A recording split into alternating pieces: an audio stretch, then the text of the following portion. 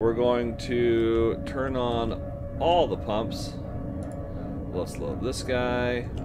Uh, we're going to turn you on to 100. We're going to turn you on to 100.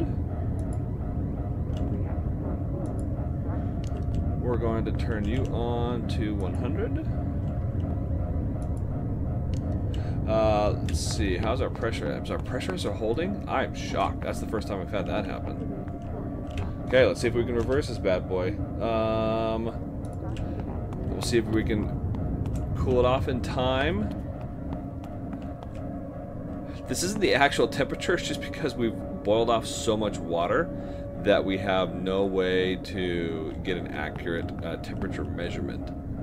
So this is loading. We do have fuel going through. It would be nice if those would go a little bit faster, but that's okay. That's okay. Geiger counter.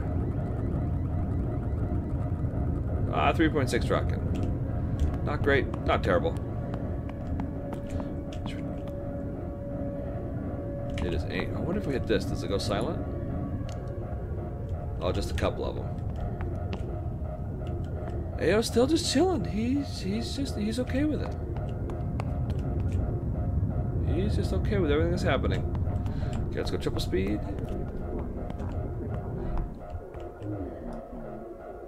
Ooh, our core is just toast. I don't know if we're gonna be able to get it. I don't know if we're gonna be able to get it. The core temperature has dropped to operational level. Core meltdown has stopped. We did it! Hooray! And then AO fixes everything for us.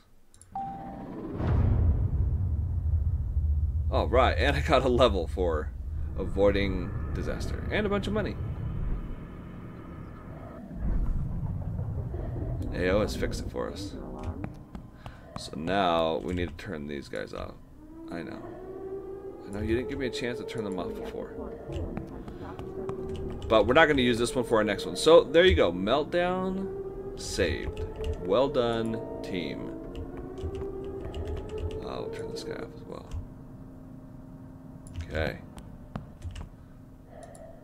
Lots of alarms. And there we go.